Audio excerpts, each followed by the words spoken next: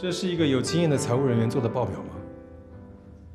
程总，这个报表哪里有问题吗？你连问题都看不出来，你有资格做财务吗？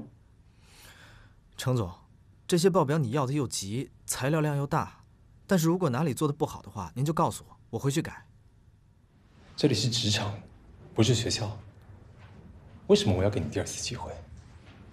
时间压力大是你做错报表的借口吗？还是你觉得你是公司的老员工，可以随便糊弄新来的总经理？程总，对不起。不需要对不起。我会发给你一个月的补偿工资。你要开除我？我刚刚说的你听不懂吗？是的，你被开除了。你有七天的时间交接工作，申请补偿工资。你可以走了。